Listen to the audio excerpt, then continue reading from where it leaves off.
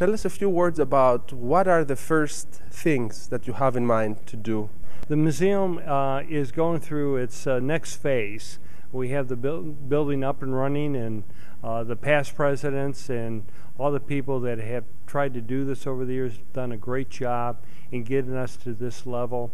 And so I'm excited about helping the museum go to the next level, which is really to make it the uh, National Hellenic Museum, not just a museum for for Chicago Greek Town. Remember, uh, the National Hellenic Museum has two primary missions.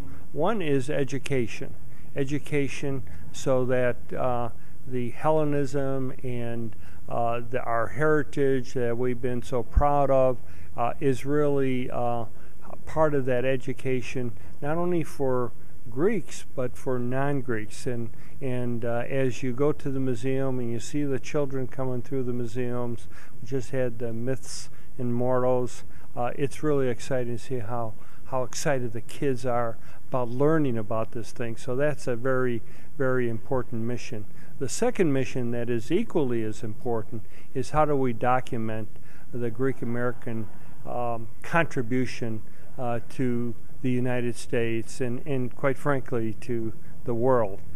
Some of the ideas that we have right now, for example, is how do we honor the Greek American soldiers uh, from World War II, from all the wars.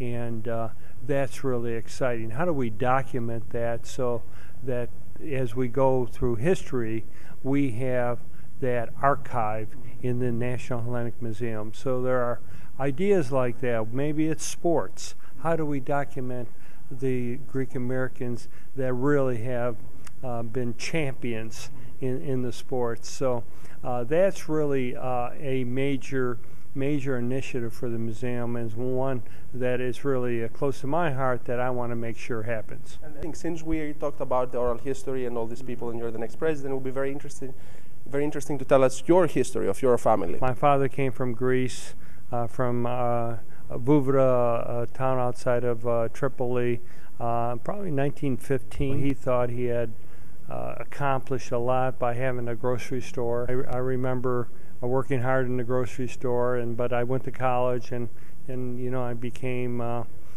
educated much more so than he was.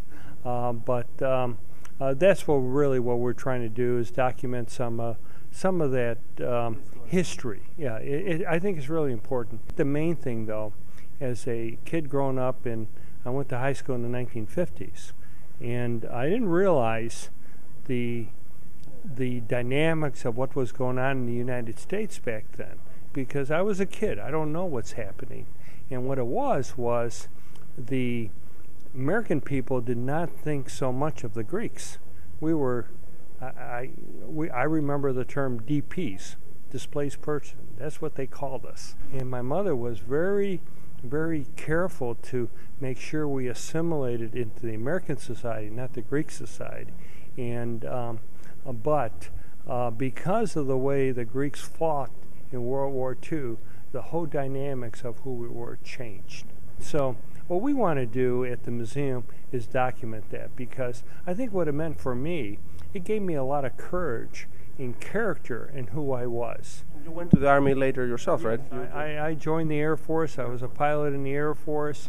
But the main point is, is that having the confidence of knowing who I was and where I came from, I think gave me a lot of courage to make my own decisions going forward. And we, we see today all the kids being bullied and things, and a lot of that maybe they don't know who they are. One of the things of the museum is to teach them who to they are. Proud of your identity. Yeah. And, and I think today that's got so muted that one of the purposes of the National Hellenic Museum to me is to make sure that our children, our grandchildren, understand who they are and how proud they should be on where they are.